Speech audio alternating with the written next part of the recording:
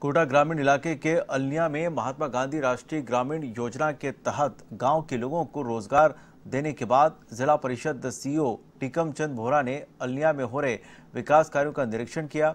इस दौरान सीईओ ने श्रमिकों के साथ काम किया और उनकी समस्याओं को भी सुना।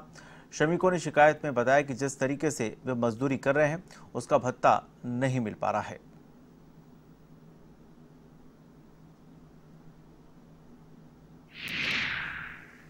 महात्मा गांधी राष्ट्रीय ग्रामीण योजना है, जिसमें नरेगा के नाम से जो जानी जाती है।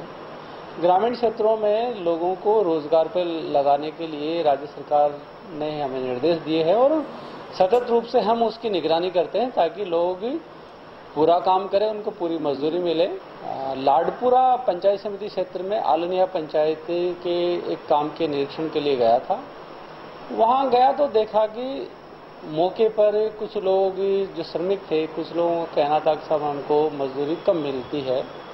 कुछ का कहना था कि एक सौ नब्बे रुपये मिली, कुछ दूसरे कामों के ऊपर कहीं कहते हैं कि एक सौ चालीस मिली, इस तरह की जानकारी मिली। तो हमने उनसे ये आग्रह किया कि साहब, आप काम पूरा कीजिए। जब आप काम पूरा करेंगे तो मजदूरी पूरी मिलेगी।